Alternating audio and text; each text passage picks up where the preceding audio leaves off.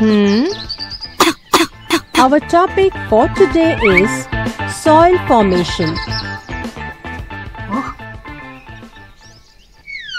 Soil is hmm. formed by the combination of physical, chemical and biological processes in which huge rocks are broken down into smaller particles long period of time.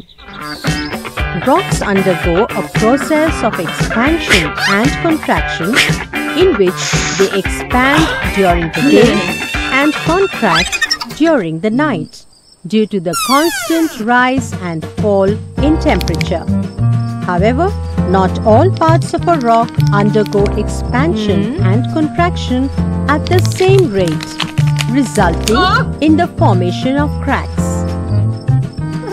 Gradually, these cracks cause the rocks to break down into smaller pieces.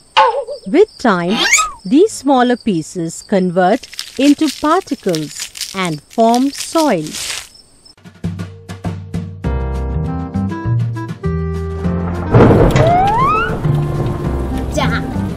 Water plays an important role in soil formation.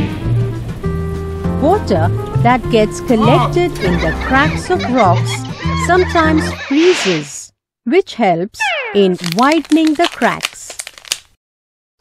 Also, flowing river water helps in the wearing down of rocks over time, which results in the formation of soil.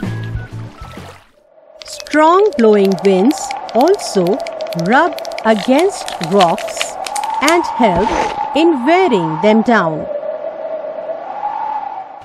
Lastly, some living organisms like lichens that grow on rock surfaces release certain substances that cause rock surfaces to powder down and form a thin layer of soil.